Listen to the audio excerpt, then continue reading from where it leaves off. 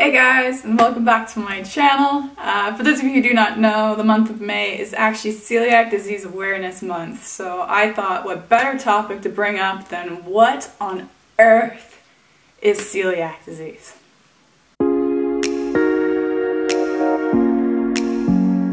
Now before I can begin, I do have to put a disclaimer in here. I am not a doctor, I'm not a dietitian, and I'm not a nutritionist. If you're concerned about any signs or symptoms that you may be experiencing yourself, please speak to a healthcare professional um, just to get the correct diagnosis. And just take this video as a learning experience. Oh, I need to get comfortable for this one. I'm gonna try my best to uh, condense this guy into a bit of a shorter video. I could literally talk about this for hours. I'm gonna try my best, I really am. Now, as I mentioned in my first video, um, I was diagnosed with celiac disease just over three years ago, but for the sake of this video, I'm gonna try and keep this a little less personal and a little more generic. Because chances are, if you've clicked on this video, either you've been diagnosed with celiac disease, a family member, or a friend has been diagnosed with celiac disease, and you just want to get a little bit more information about it. Um, now, I have actually written down quite a few notes on what to say in this video in particular, um, but I am. I'm gonna try and keep this as condensed as I can. Now, first things first, let's get one thing straight. Celiac disease is not an allergy. It is an autoimmune disease. So when a food protein called gluten gets into our system, it makes its way to the small intestine. When it makes its way here, an autoimmune uh, response is triggered. When this response is triggered, the little hair-like projections that is within the small intestine, they're called villi, they will now be flattened instead of being out.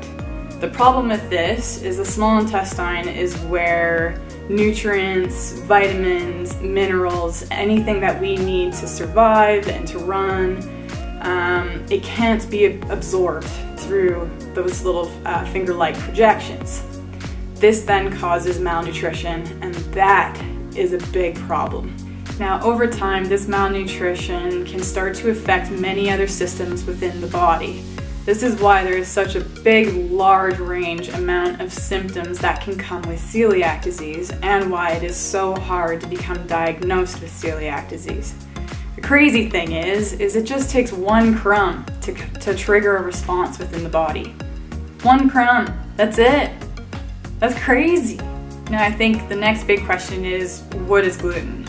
Well, this is a food protein found in wheat, barley, rye, and sometimes oats. There are gluten-free oats out there that are certified gluten-free and may be safe for some celiacs. However, here in Canada and the United States, they do still allow oats into a celiac's diet.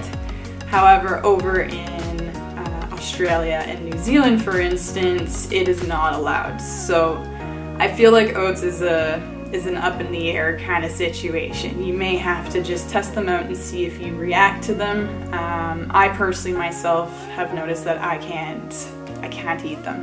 Um, I will react to them.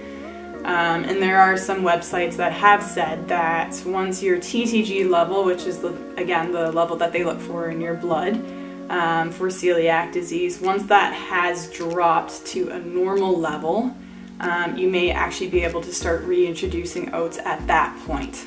So I am personally still healing right now, and every time that I put oats back in, I react to them. So you kind of just have to play around with it and see what will work for you. Um, now, gluten can be found in cereals, breads, cookies, uh, crackers, uh, basically everything that's really tastes very good. all of the good things. Um, processed foods as well. So it is very important that when you go out and buy anything that is processed, uh, if you do not do not know where it's coming from um, or where it's been made, it is very important to read the label and be sure that it does not contain gluten. Now, next thing in the process is how are you diagnosed with celiac disease? And this is typically a two-step process. First step is being sent for a blood test, which is exactly what happened with me. They look for a TTG level in your blood body, so this is an antibody for celiac disease within the blood. if you are high in this antibody, it typically means that uh, you are positive for celiac disease. So high meaning 40 to 300 plus, um, or above 12 is even high for uh, the TTG levels. Now, if you're high in the blood test, you will now be sent for level two, which is going to get your biopsy done um, which is when they will do a gastroscopy uh, where they will stick a tube down your throat with a uh, video camera on the end of it. Um, and it, they will take a section of your small intestine to test and see if those little villi in the small intestine are flattened or if they're still up and running. If they are flattened, that typically means that you do for sure have celiac disease, um, and that is the final diagnosis for celiac disease. Confirmed celiac.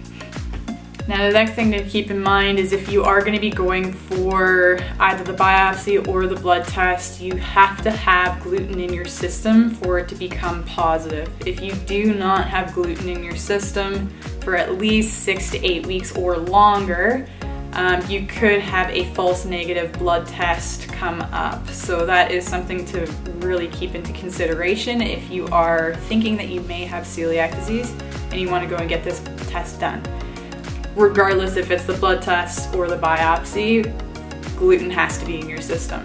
So it's something called the gluten challenge, which is what you'll be put on where you have to eat the equivalent of two slices of bread um, every day for, again, like I said, six to eight weeks, which if you've been off of gluten for a little while, putting it back into your system and you're 100% a celiac, that can be a bit nerve wracking because you're gonna be sick. Now that we got most of the basics down, you may be wondering what kind of symptoms can occur with someone who has celiac disease. Well, friends, let me tell you, there are so many. now, to date, there are more than 300 known symptoms of celiac disease, and they can vary from person to person. That means that one person is going to have a symptom and the next person may not. The other big thing too is that there is only 1% of the population actually has celiac disease. However, with that being said, 83% of people who have celiac disease are either misdiagnosed or not diagnosed at all. 83%! That is a huge percentage. Like, that's the kind of percentage I wish I got on my math tests in high school. 83%. What? Now, those varying symptoms that I was talking about can literally be one person who has diarrhea and abdominal pain to another person who may have depression or anxiety. The other big thing too is sometimes symptoms will start early on in life and sometimes it will start later into adulthood. Or the other crazy thing is is you could have celiac disease and not have any signs or symptoms at all. What is worse is if this is left untreated, people with celiac disease can develop further complications. Complications such as other autoimmune diseases, osteoporosis, thyroid diseases, and certain types of cancers. And that is just to name a few. I'm kind of starting to feel like we need to start getting people diagnosed with this pronto.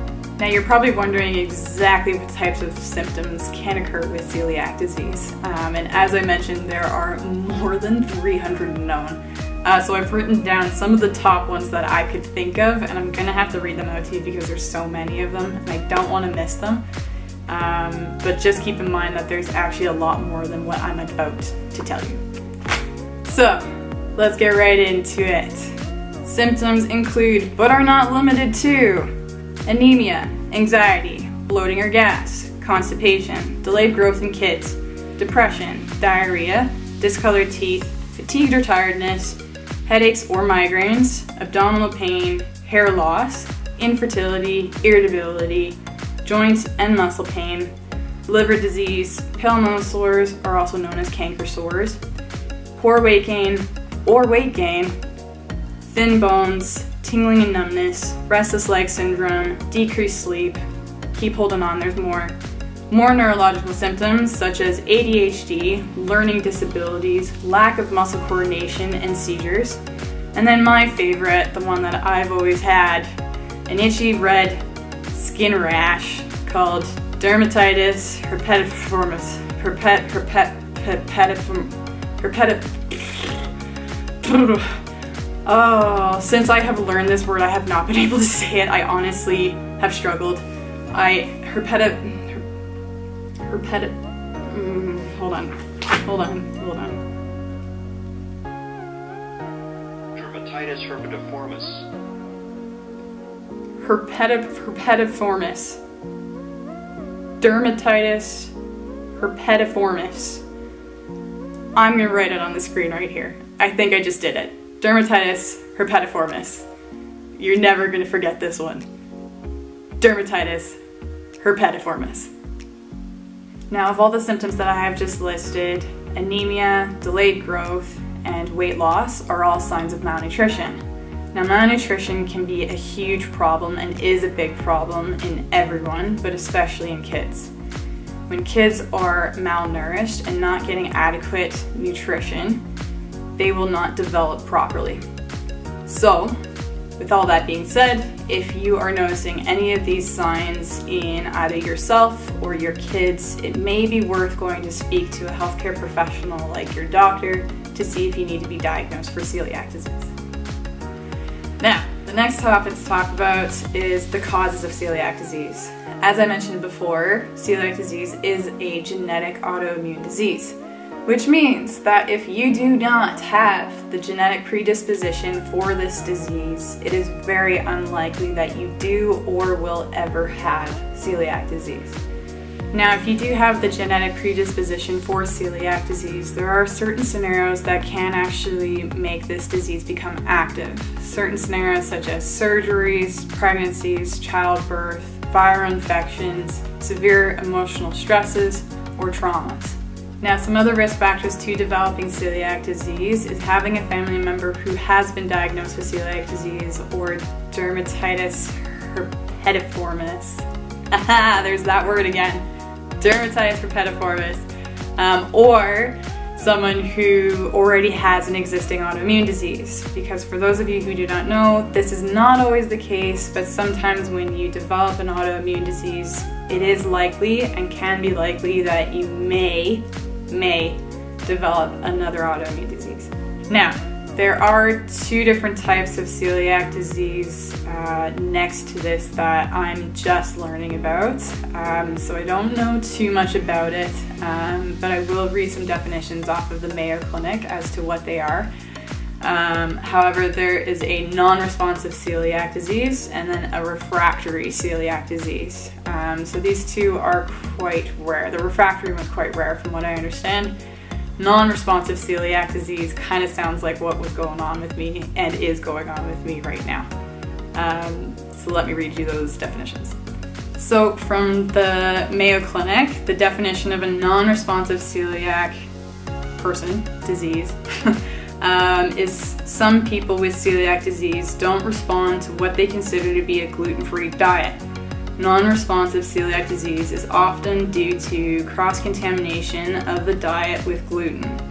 So working with a dietitian can help to avoid this from happening. Um, I can kind of relate with this one in particular um, because I personally haven't been able to get my levels to drop for over two years. Um, and just recently I found out that I did actually get them to drop just a little bit, but it was a drop. Um, but I'll talk about that in another blog. Um, but uh, essentially, I think what was going on with me in particular is I was getting little micro cross contaminations either going out to eat or in processed foods.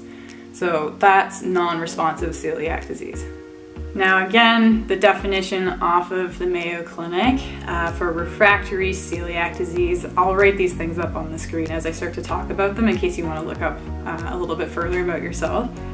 Um, so in rare instances, the intestinal injury of celiac disease doesn't respond to a strict gluten-free diet, aka it's not healing to a gluten-free diet.